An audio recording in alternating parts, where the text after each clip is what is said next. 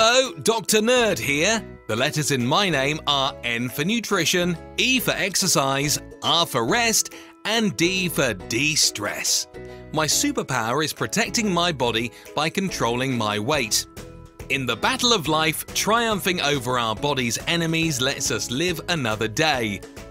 As we go from a healthy weight to obesity, we start losing the battle by empowering our body's enemies. Enemy number one is heart disease. It kills over 600,000 Americans annually. Controlling your weight early in life can shrink your risks.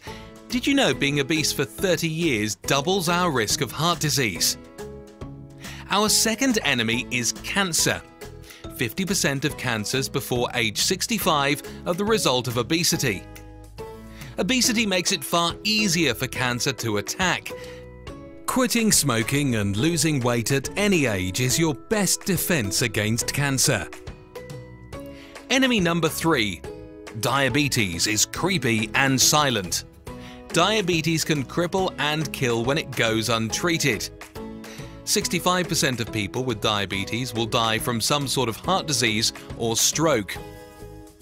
The earlier in life we control our weight, the more we reduce our lifetime risk of type 2 diabetes.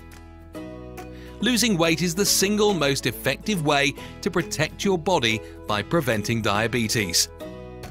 Be the superhero in your life story.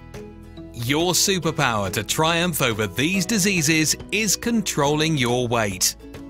Join the NFL Alumni Wellness Challenge and learn how. Have fun and be coached by NFL alumni.